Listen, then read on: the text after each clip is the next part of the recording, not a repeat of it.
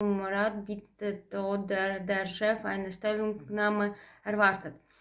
Im Deutschunterricht ist dies außerdem eine beliebte Aufgabe, um deine Fähigkeiten im freien Schreiben zu testen. Vorbereitung. Mach dir zunächst äh, Gedanken über das Thema, welche Meinung hast du dazu und wie würdest du das, sie begründen. Aufbau und Inhalt. Ähm, Anleitung, Aufgreifen des Problems. Selbstmeinung. Dazu. Aufgreifen. Problems. Ähm, die Einleitung dient dazu, den Leser auf das Thema einzustimmen. Geh in diesem Absatz auf die Aufgabenstellen ein und die, gib deine allgemeine Meinung zu diesem Thema mit kurzer Begründung wieder. Meinung und Begründung.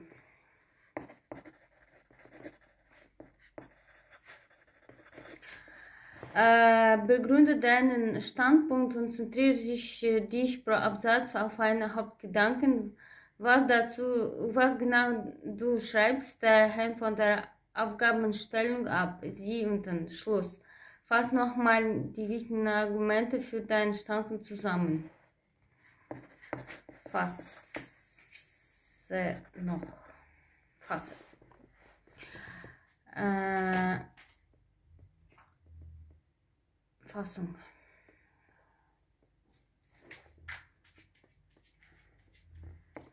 Hauptgedanken.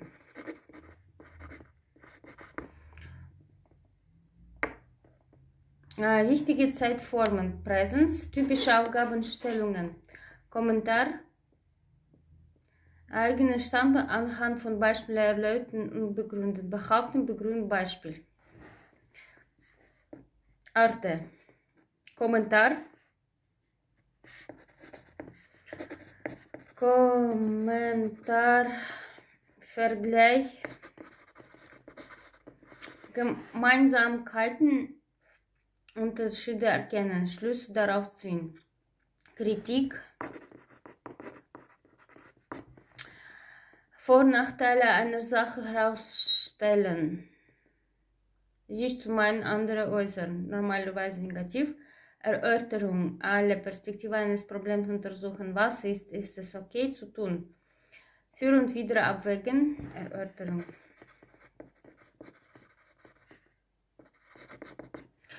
Bewertung, Оценка, Begründung. Äh, Wortlisten und Redewendungen.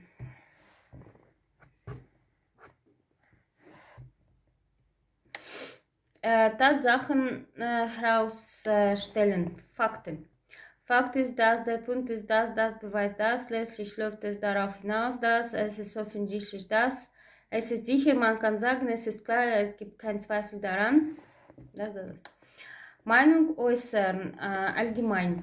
Äh, mir scheint, meiner Meinung nach, ich bin der Meinung, meine Meinung dazu ist, meiner Erfahrung nach, soweit ich was, das beurteilen kann, so wie ich das sehe, so wie ich weiß, so viel ich weiß, vielleicht liege ich falsch, aber äh, wenn ich mich nicht tausche, täusche, ich glaube, man kann mit Sicherheit sagen, wie behauptet wird, ich muss zugeben, ich kann nicht leugnen, ich kann mir vorstellen, ich denke, glaube, nehme an.